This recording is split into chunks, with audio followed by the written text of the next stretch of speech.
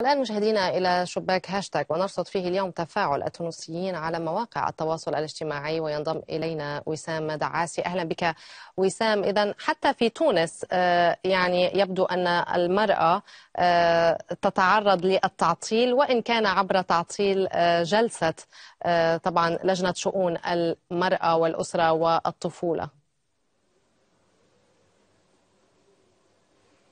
بالفعل البرلمان التونسي شهد خلال الأيام الفارطة أجواء سياسية مشحونة جدا بدأت بهذه المشاحنات بتصريح مثير للجدل لأحد النواب عن ائتلاف الكرامة. هذا التصريح أو هذه المداخلة في البرلمان أثناء مناقشة مشروع ميزانية الدولة للعام المقبل اعتبرت فيها إساءة ومس من حقوق وحريات المرأة. وهذه المشاحنات تطورت فيما بعد إلى تبادل الاتهامات وتبادل عنف أيضا بين نواب ائتلاف الكرامة والكتلة الديمقراطية وهو ما أدى إلى اعتصام الكتلة للمطالبة برئاسة البرلمان بالاعتذار والتنديد بممارسة العنف. ولأول مرة تقريبا المواطن التونسي يشاهد قطرات دم على جبين أحد النواب. نشاهد هذا التصريح للنائب للنائب الذي تعرض للاعتداء ثم نعود لعرض بعض التعليقات التي جاءت على خلفية أحداث العنف التي شهدها البرلمان.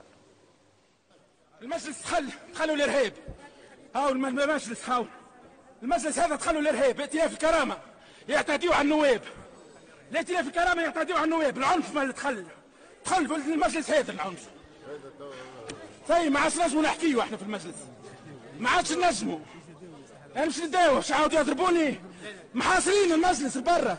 دخلوني بالسيف راهو هربوني. هربوني منهم الأمن.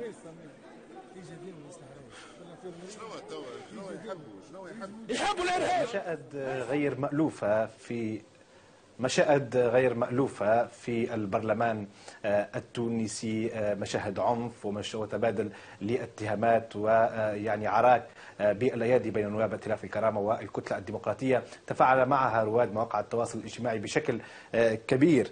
يقول سليم حميدان اتهام نواب ائتلاف الكرامة بالعنف والإرهاب هو من صنف اتهامات المجرم بن علي لمعارضيه ومن قبيل أنت إرهابي وعليك إثبات براءتك. سمير الوافي يقول في تدوينة طويلة. النائب العفاس ليس غبيا ولا ساذجا وتصريحه مدروس وموفق انتخابيا بقطع النظر عن موقفنا منه موقفنا منه وهو يعرف كما يقول ولا يكترث برد فعل منتقديه الحداثيين. قال قل أنت عن نواب ائتلاف الكرامة دواعش ومتطرفين ومتشددين وأعداء الحريات. المهم أن لذلك الخطاب ثمنه في سوق وصندوق الانتخابات. السحبي بن فرج يقول من الواضح أن المجلس مات سياسيا بضعة أشهر بعد ولادته والواضح أيضا أنه يموت أخلاقيا يوما بعد يوم والجاري به العمل في حالات الموت وتفاديا للتعفن وما قد ينجر عنه من أمراض وأوبئة. أن يعلن الطبيب الشرعي الدستور في هذه الحالة عن الوفاة ويحدد توقيتها بينما تتكفل البلدية أي السلطة العمومية بتنظيم إجراء الدفن.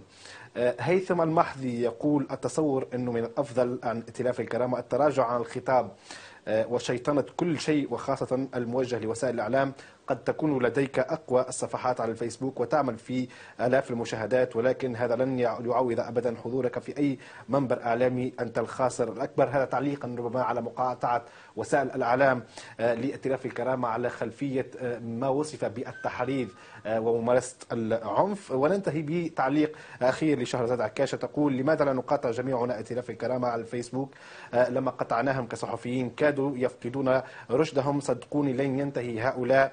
ولن يضعفوا إلا بالمقاطعة حينها سوف يخرجون يخرجون أقذر ما بقي مختبئا فيهم ولن يكسبوا تعاطف جمهورهم بما أنهم لن يجدوا ما يستندون عليه للعب دور الضحية. هذه مجمل التعليقات التي جاءت على خلفية مشاهد العنف غير المسبوقة في البرلمان التونسي والتي تراوحت بين التنديد وبين الرفض وعدم القبول. نعم وسام وننتقل إلى الموضوع الثاني وهو موضوع طريف يعني يندر حدوثه في مدارس البلدان العربية مدارس صارمة وتفتقد إلى العفوية. أستاذ يرقص مع تلاميذه.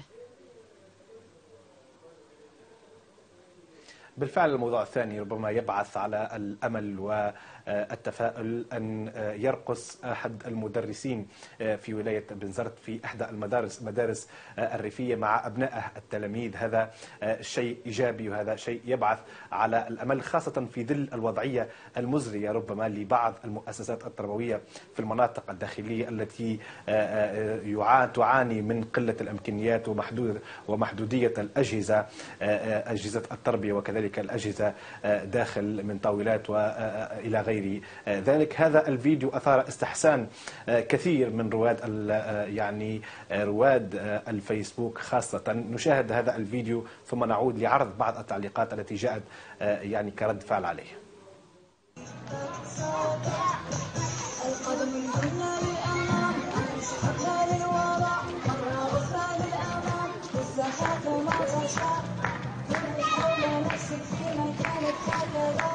هكذا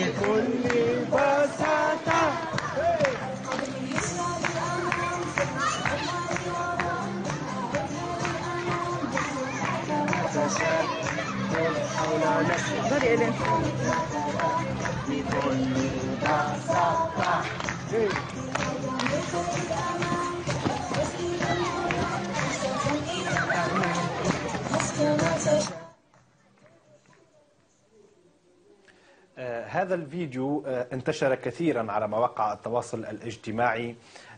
واعتبر مثالا للمدرس والمعلم والمربي اليوم آه، في تونس. آه، نبدأ بمنصف ساسي الذي يقول فيديو اليوم من ماتر بن زرت عندما يدخل المعلم الفرحة في قلوب الصغيرات بأبسط الإمكانيات. وهنا القضية ليست قضية إمكانيات آه، وإنما قضية آه، أفكار آه، ممكن أن تساهم في إدخال البهجة والفرحة في قلوب ونفوس التلاميذ. وفابوكيل تقول, تقول باللهجة العامية ربي فرحوا الصغار تعب أكثر من الكبار. عايشة معروف تقول حاجة قليلة مش صعيبة فكرة صغيرة الفرحة كبيرة.